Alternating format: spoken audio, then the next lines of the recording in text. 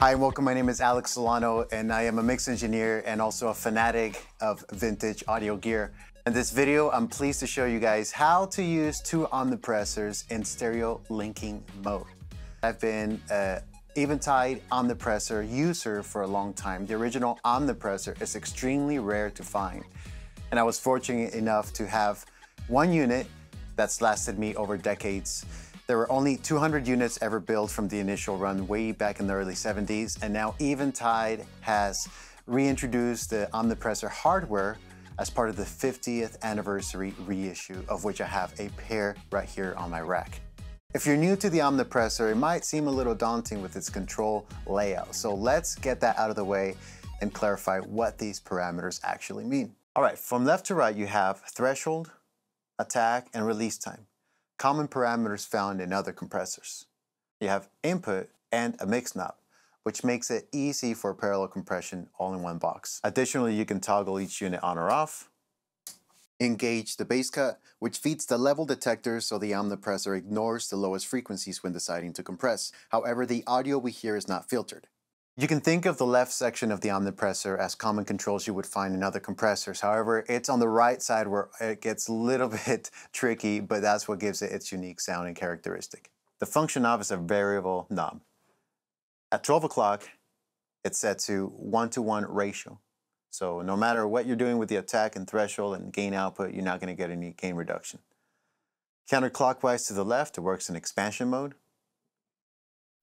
From 12 o'clock to 3 o'clock, you have ratios for compression settings, including 1.5 all the way up to limiter. It's when you go past the 3 o'clock position where it works as dynamic reversal. These are negative compression settings that make soft sounds loud and loud sounds soft. All right, so for starters, we'll just go to a common setting, which is a 2 to 1 ratio, and all the controls are in their default setting. I'll also mention that you can adjust the attenuation limit with this parameter and the gain limit with this one. You can link both units, which we will in this demonstration, and you have gain output. All right, so before we begin, let's hear what the omnipressor would sound like if we're using it in multi-mono mode. That means that channel one is independent from channel two. All right.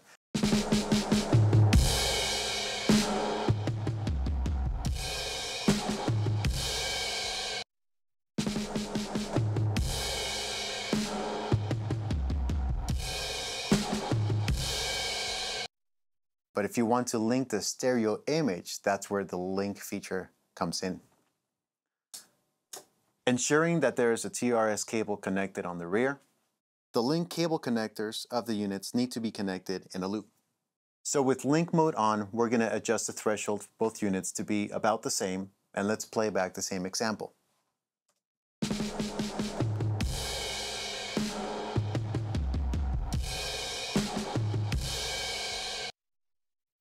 Notice how both units are applying gain reduction, even though there is signal being heard on the left channel and independently from the right channel.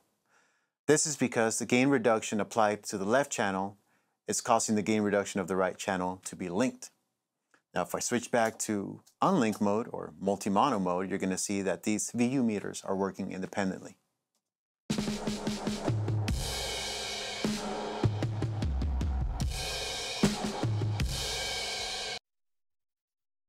Now it's important to note that the linking feature does not link controls. All the controls are still independent. You have to switch those manually.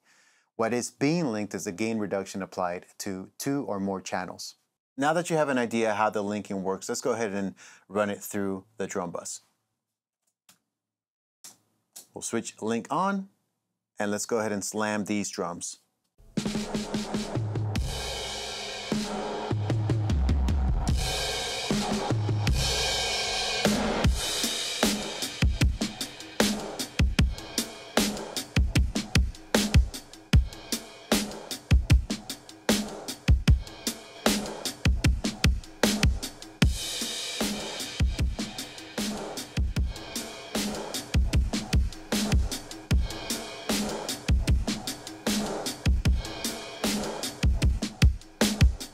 Now that's what I call dynamics with attitude.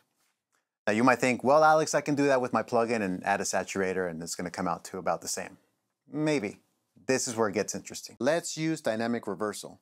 This is born of the negative ratios beyond the 3 o'clock position of the function knob. The attack and release and threshold settings are going to react differently than traditional compression. So let's dial in those settings and check it out. Here we go.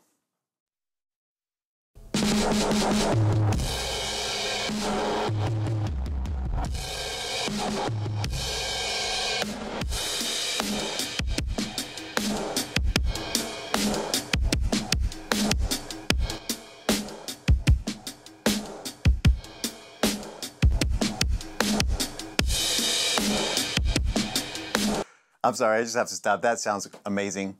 Now, you're, you're like, Alex, you're having too much fun with this, right? But this doesn't sound musical. Well, that's where the mix knob comes in.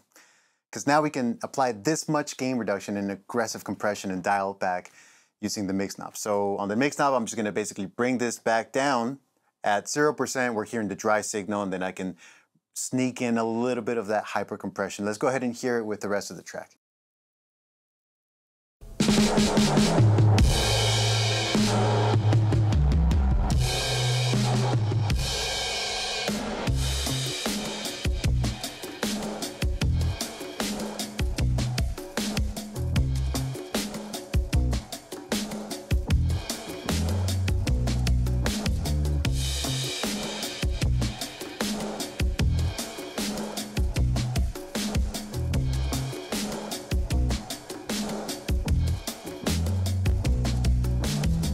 So as you're gonna hear, you can get real aggressive with it. And what's cool about the linking is that now the stereo image is preserved.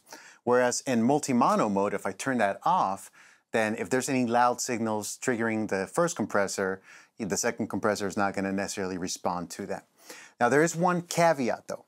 In stereo link mode, only attenuation control is shared across the linked omnipressors. No gain is allowed in stereo link. So that's just something to consider. We're not losing anything necessarily, but if that's a function that you need for writing the vocal as a type of auto volume writer, which is, this is a really good unit to use that for, it's not gonna work in link mode. You have to use it in multi-mono mode. Let's hear this example one more time and we'll sign off. Here we go.